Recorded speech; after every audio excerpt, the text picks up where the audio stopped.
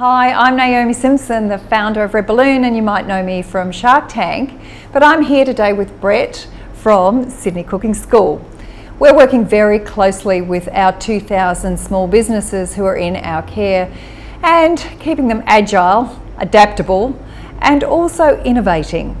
In fact, what you will see is many of our experiences, like you, are bringing your experiences online using technology. So people are still coming here, but they can also access you online. Right. We'll have experiences that get delivered to people. What we need most is to be able to see the forward bookings so that we can help our experienced partners more. We're keeping them up to date. So thank you.